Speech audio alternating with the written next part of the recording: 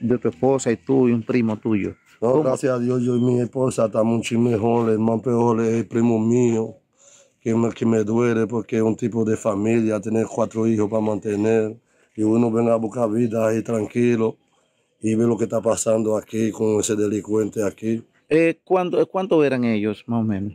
Bueno, en el carro yo ve que salió dos. Cuando yo estaba en el colmado parado, salió dos. De una vez lo que a pie el carro, se tira el primer tiro, ¡bow!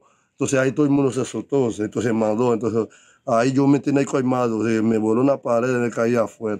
Pero cuando yo me da cuenta, más bien yo veo el primo mío se cayó en el suelo y cuando lo veo con, con el pie desbaratado ahí, Un disparo, le un dijeron. disparo, ¿verdad? Entonces a mí cuando yo tiré el primer tiro, me pega la cosita ahí, Te pegan las de municiones. la munición ahí. Nos dicen que lo tiran al suelo a los demás. No, en el suelo tiré el primer tiro. Ok. Sí, entonces ahí se pegó con un viaje a la mujer mía también ya.